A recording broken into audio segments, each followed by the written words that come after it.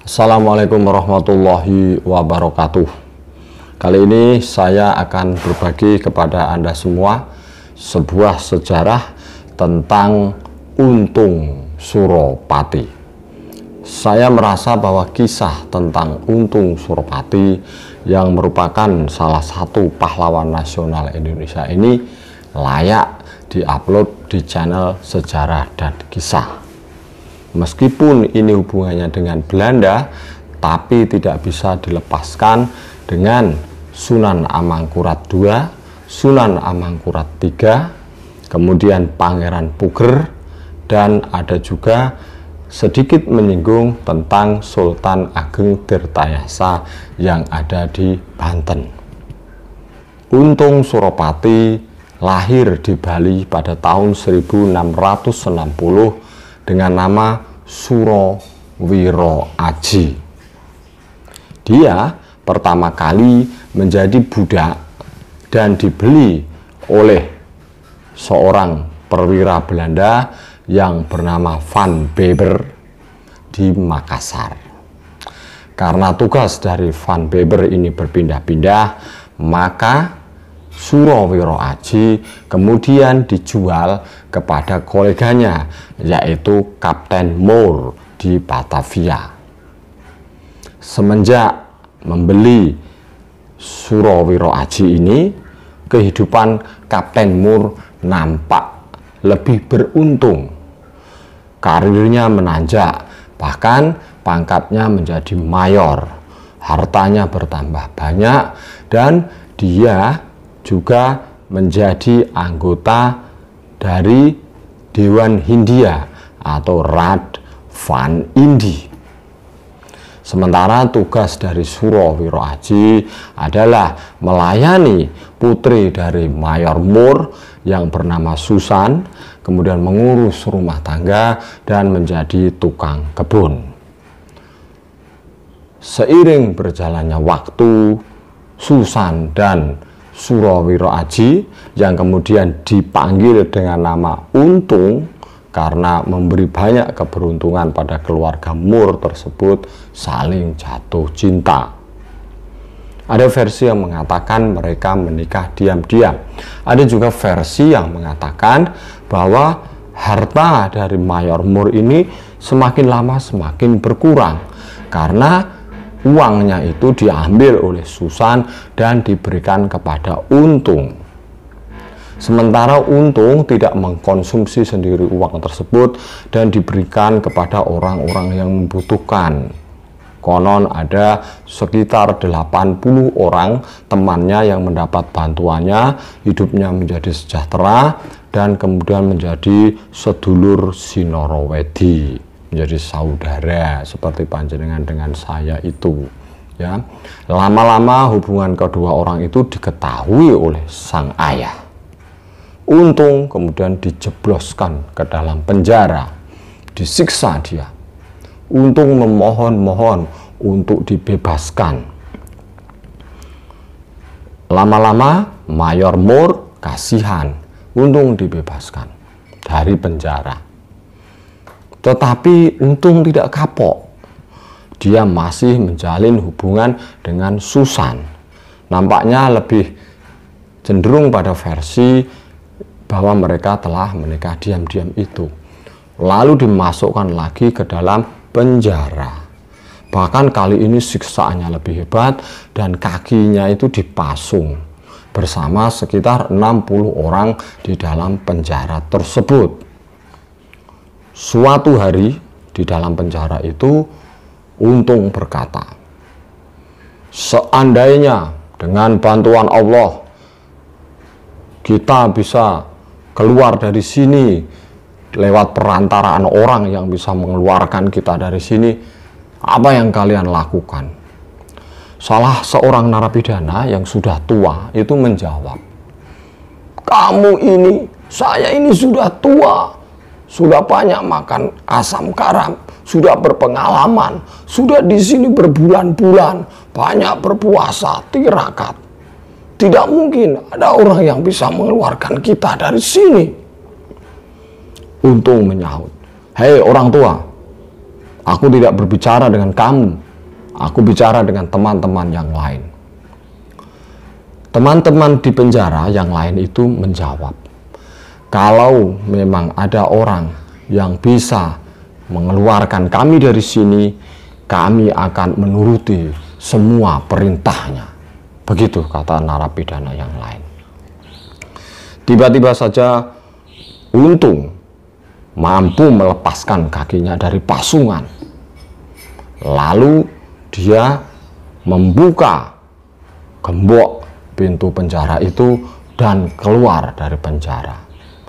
Dia menemui teman-temannya yang dulu pernah dibantunya itu, kemudian meminta makanan, disuruh menyiapkan senjata, dan lain-lain. Terus dia kembali lagi ke penjara, memberi makan teman-teman yang jumlahnya sekitar 60 orang itu dan mengeluarkan mereka kecuali satu orang tua tadi tidak dikeluarkan.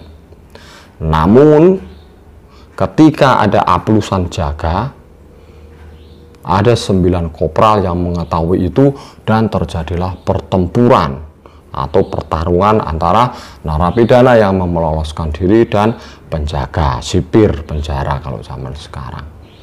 Ah, berita itu sudah sampai ke atasannya, kemudian dikirim satu bergodo pasukan dan pertempuran semakin hemat, semakin hebat. Tembak-tembakan entah untung itu luput dari peluru atau memang kebal, tapi nyatanya dia selamat dan seluruh teman-temannya tewas.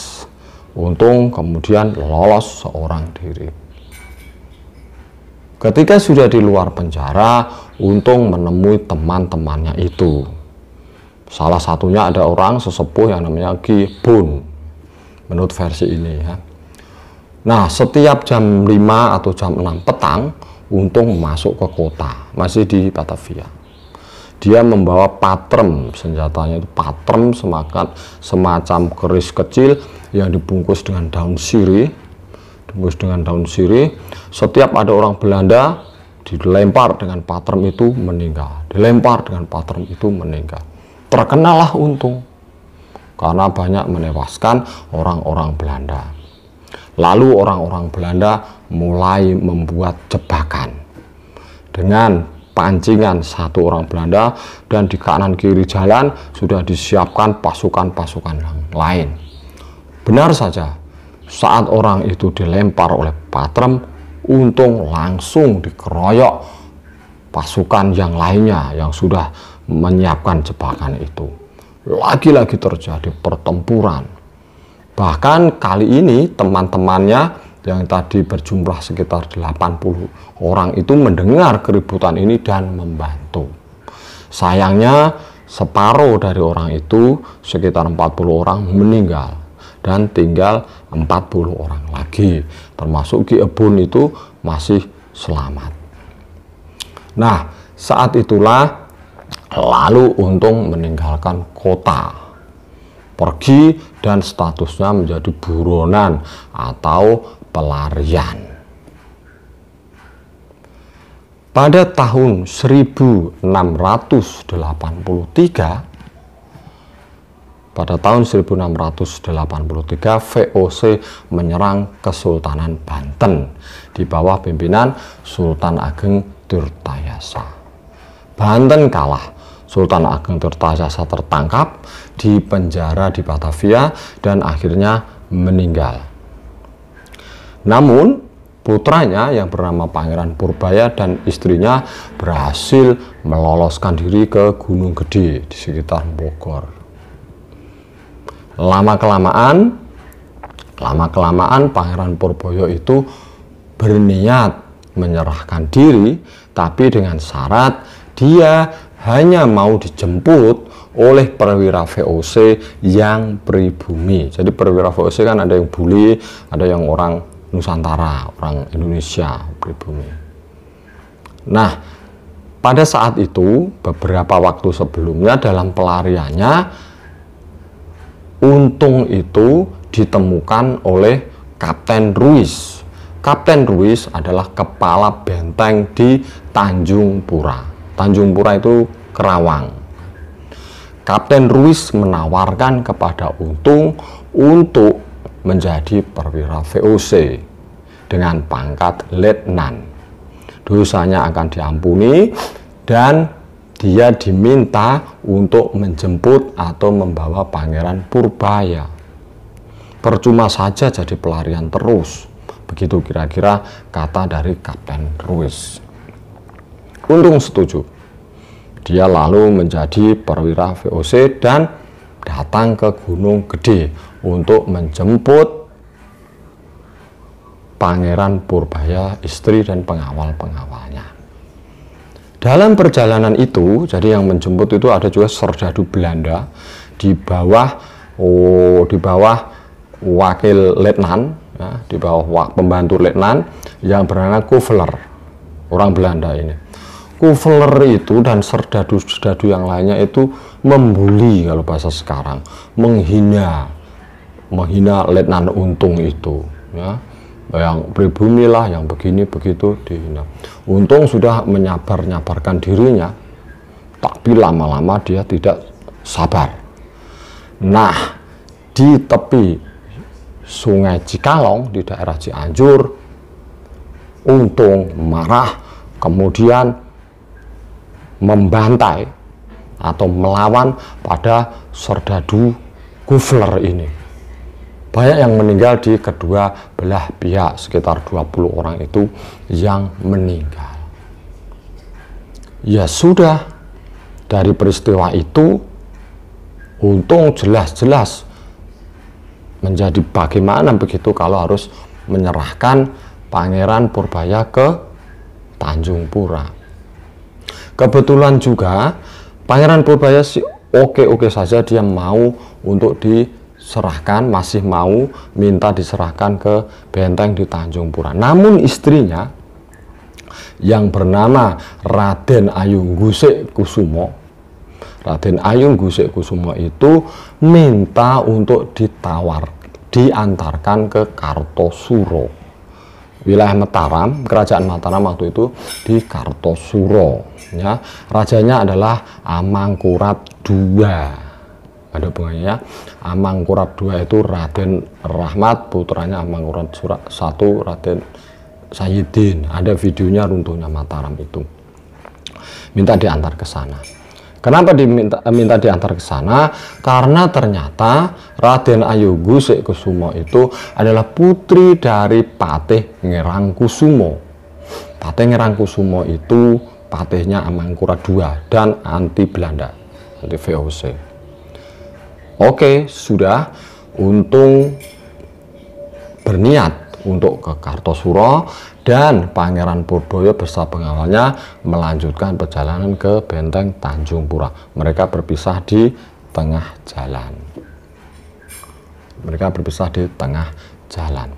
Nah, dalam perjalanan menuju ke Kartosuro itu, di Raja Pola, wilayah di Tasikmalaya, lagi-lagi untung ketahuan oleh pasukan Belanda. Kali ini di bawah pimpinan Jacob Cooper. Terjadi perang. Puas terjadi perang. Demi keselamatan Raden Ayu Gusik Kusumo dan sepertinya keteter untung mereka melarikan diri. Kemudian dari pembicaraan disepakati bahwa mereka akan pergi ke Cirebon. Jadi pada waktu itu Cirebon dan Mataram hubungannya bagus. Dan dengan adanya Raden Ayu Gusik Kusumo, putri dari Patengerang Kusumo itu bisalah untuk meminta bantuan kepada Sultan di Cirebon. Sesampainya di, Cirebon, sebelum memasuki istana, dihadang oleh anak angkat dari Sultan Cirebon yang bernama Raden Suropati. Raden Suropati sekitar dengan 100 orang, untung sekitar dengan 40 orang. Ya kurang karena sudah ada yang meninggal tadi.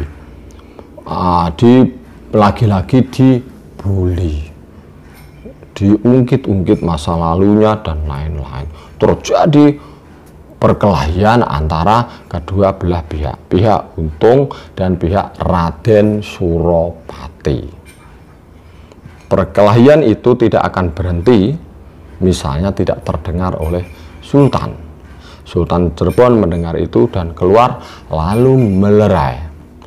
Setelah diinterogasi kedua belah pihak, Sultan Cirebon memutuskan bahwa yang salah adalah Raden Suropati. Salah satu alasannya menurut beberapa versi adalah karena e, teman dari Raden Suropati jumlahnya 100 orang. Untung jumlahnya hanya 40 orang kurang. Untung adalah pendatang. Tidak mungkin pendatang berani macam-macam dengan jumlah yang sedikit dengan 100 orang. Itu ada yang versi yang mengatakan begitu. Dihukum oleh Sultan Cirebon anak angkatnya itu yaitu Raden Suropati ada versi mengatakan bahkan dihukum mati. Intinya Sultan Cirebon menerima dengan baik untung Surop untung merestuinya bahkan dia mengatakan sebaiknya namamu namamu itu ditambahi nama Suropati. Tapi nama anak angkatnya tadi itu diberikan kepada Untung Mulai saat itu, maka untung menjadi untung Suropati. Lalu mereka berniat meneruskan perjalanan ke Mataram atau ke Kartosuro. Saat itu Untung berkata, Saksikan oleh kalian semua, Ki Ibun sekarang namanya saya ganti menjadi Ki Ibun Jolodrio dan Ki Ebun Jolodrio menjadi pemimpin kalian semua. Teman-temannya setuju dan mereka melanjutkan perjalanan. Lagi-lagi di perbatasan antara Jawa Barat dan Jawa Tengah, kalau sekarang mereka dicegat oleh Jacob Cooper bersama pasukannya itu. Terjadi pertempuran lagi. Jadi pertempuran lagi, untung melarikan diri lagi, dengan bantuan Cirebon, singkat cerita, mereka sampai di wilayah Banyumas, tepatnya di Aji Barang. Di Aji Barang itu ada dua penguasa tokoh yang namanya Sorodento dan Sorodenti. Di versi lain namanya berbeda, Sorodento dan Sorodenti. Untung lalu mengangkat Sorodento dan Sorodenti menjadi Prabu Sorodento dan Sorodenti menguasai wilayah itu. Kemudian Sorodento dan Sorodenti menaklukkan wilayah-wilayah di sekitar Aji Barang. Lalu memberontak ke penguasa atau Bupati Banyumas. Sukses, Bupati Banyumas kalah dan yang menjadi penguasa adalah Sorodento dan Sorodenti. Saat itulah Untung berkata kepada Ki Ebun Jolondrio, Ki Ebun Jolondrio, saya akan pergi ke Mataram melanjutkan perjalanan. Kamu di sini saja, tetap mendampingi Raja Jolo Sorodento Sorodenti itu. Kalau ada yang bertanya ke mana saya, bilang saja saya sedang bertapa ke gunung. Tapi ingat, nanti kalau ada utusan yang datang ke sini membawa cincin ini, tangkaplah dua orang itu. Oke, siap, kata Ki Abun. Terus melanjutkan perjalanan dan sampailah ke Mataram, ke Kartosuro. Nah, selama perjalanan itu karena akrab dengan Raden Ayu Gusik Kusumo, sesampainya di Kartosuro, kedua orang itu Untung Suropati dan Raden Ayu Gusik Kusumo binti Patih Ngerang Kusumo menikah. Ya, tentu saja setelah Raden Ayu Gusik Kusumo memutuskan untuk berpisah dengan pangeran atau Raden Purboyo tadi mereka menikah ya, mereka menikah bupati atau penguasa Banyumas yang dikalahkan oleh Sorodento dan Sorodenti itu melapor kepada raja tentang pemberontakan itu. Kemudian raja berdiskusi meminta pertimbangan Patih Ngerang Kusumo. Patih Ngerang Kusumo karena memang menyukai Untung Suropati, orangnya gagah, tegas, apa adanya, kelihatan cerdas juga, maka dia mengusulkan bahwa Untung Suropati yang akan menumpas pemberontakan di Banyumas. Raja juga senang melihat kesanggupan dari Untung Suropati. Nah, saat itu Untung Suropati lalu mengirim utusan dengan membawa cincin. Ki Embun Jolodrio yang dulu sudah dipesan jadi paham. Lalu Sorodento dan Sorodonti ditangkap.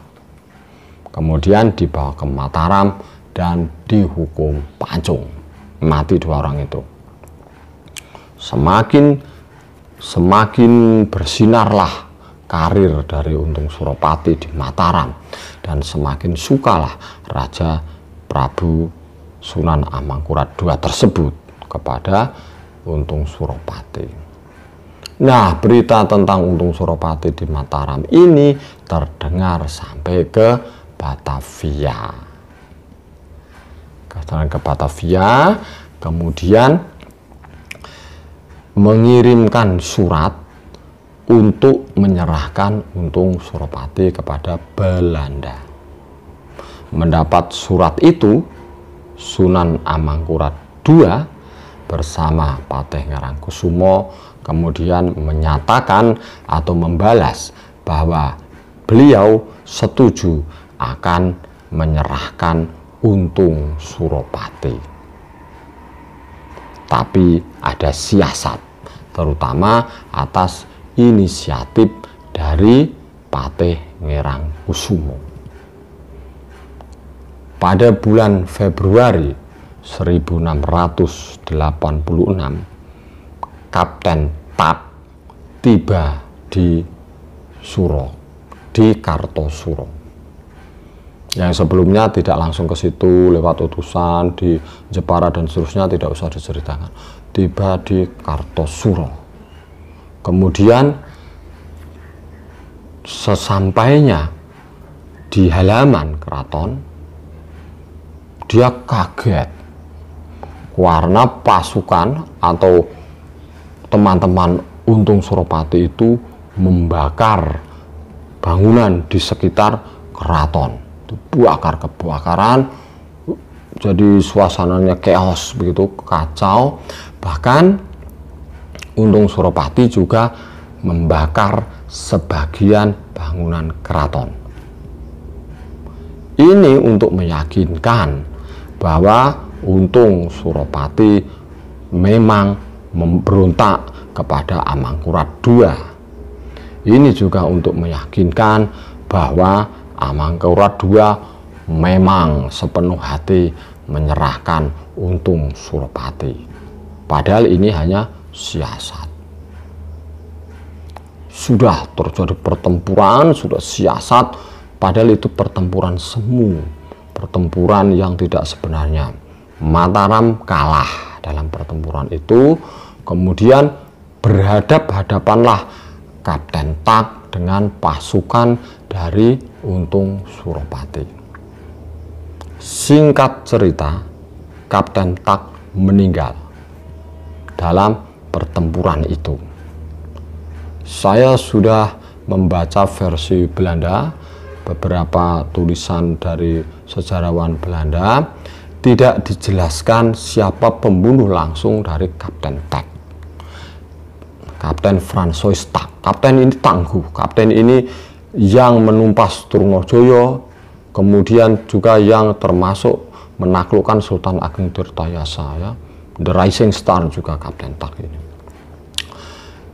Uh, tetapi ada versi lain yang mengatakan bahwa saat pertempuran dengan Kapten Tak sebenarnya Untung Suropati itu terdesak seperti kalah, kelelahan, ya capek kalah.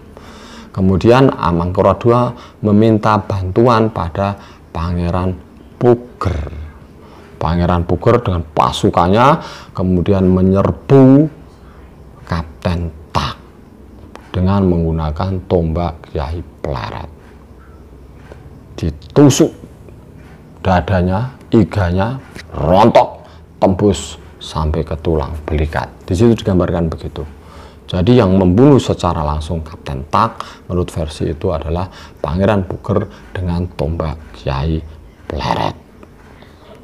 Sudah meninggal Kapten Tak. Meninggalnya Kapten Tak itu peristiwa yang besar.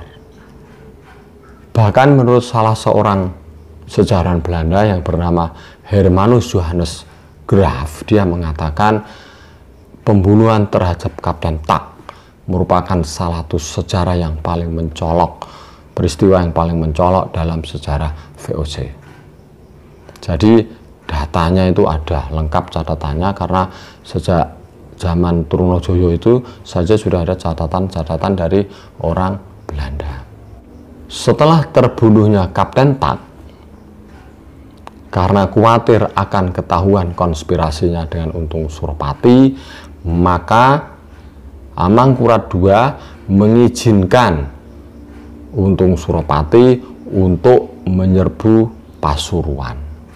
Jadi seolah-olah Untung Suropati menyerbu wilayahnya Mataram.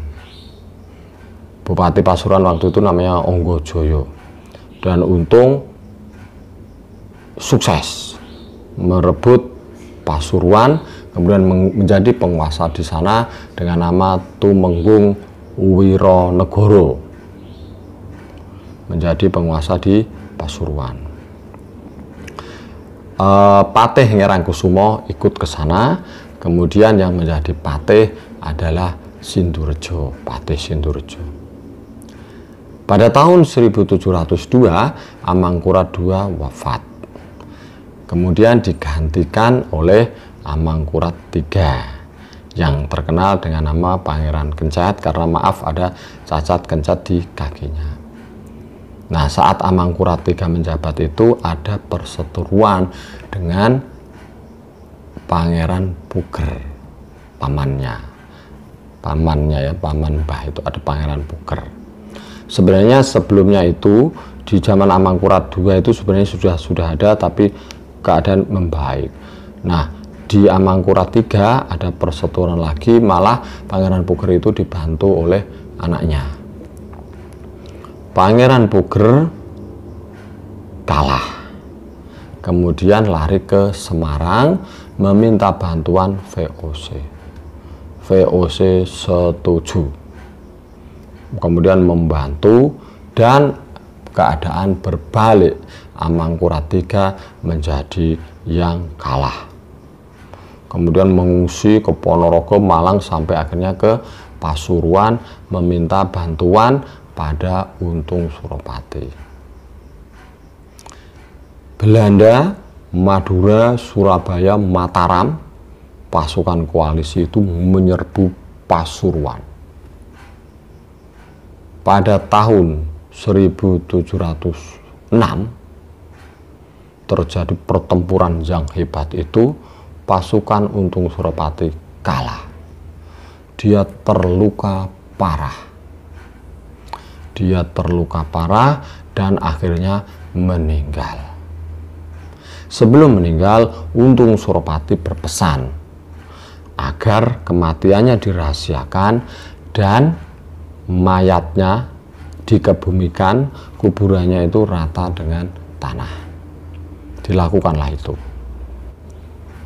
Namun setahun kemudian makamnya itu ditemukan oleh orang Belanda, digali, jenazahnya kemudian dibakar dan abunya dibuang ke laut. Yang dipercaya atau dianggap sebagai makam dari Untung Suropati ada di Kelurahan Pojentrek di Kecamatan Purworejo, Kabupaten Pasuruan. Untuk menghargai mengenang dari jasa Untung Suropati taman dulu namanya Burger Mr. Bis Choplin itu diganti menjadi Taman Suropati yang di Jakarta. Sebagai penutup, seperti telah disinggung di atas, Untung Suropati sudah dinyatakan sebagai pahlawan nasional Indonesia dengan SK Presiden nomor 106 garis miring TK garis miring 1975 tertanggal 3 November 1975. Terima kasih banyak sudah menonton. Mohon untuk menulis komentar biar gayeng. Mohon juga untuk memberikan saran dan kritikan. Assalamualaikum warahmatullahi wabarakatuh.